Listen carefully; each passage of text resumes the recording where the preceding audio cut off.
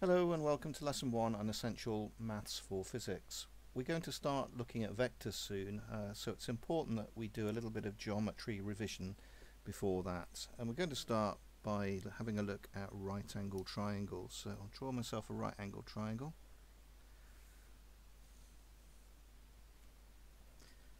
and let's just remind ourselves if I make this angle here theta let's remind ourselves what the opposite adjacent and hypotenuse are. Well the easy ones to remember are the opposite one. So that's our opposite side.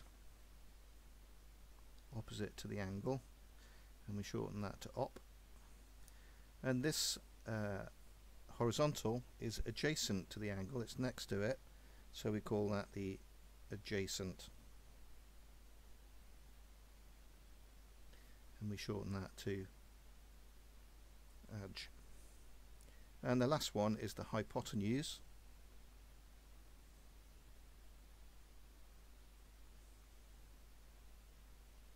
And we shorten that one to hype. Okay and of course there are our sine cosine and tangent rules. And the sine rule says that sine theta is equal to the opposite over hypotenuse. So op over hype. And the cosine of that angle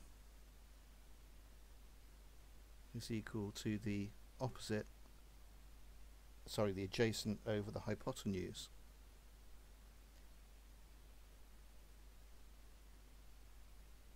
And last but not least, tangent, tan of theta, is opposite over adjacent.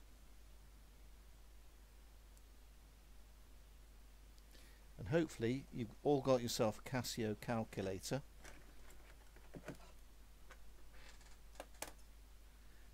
And we know that on our Casio calculator we've got sine, cosine and tangent. Okay, and we will uh, I'll not in this one, but I'll look in another shorter lesson. We'll have a look at um, radians and gradians, gradians, gradians, and degrees, which are three ways of measuring angles. But we'll primarily be using radians in a lot of our calculations. But for the moment, we're just using this to remind ourselves. So what this lets me do is if I've got a line and an angle, I can find the opposite and the adjacent. Now that's going to be really useful because what we will be looking at is vectors.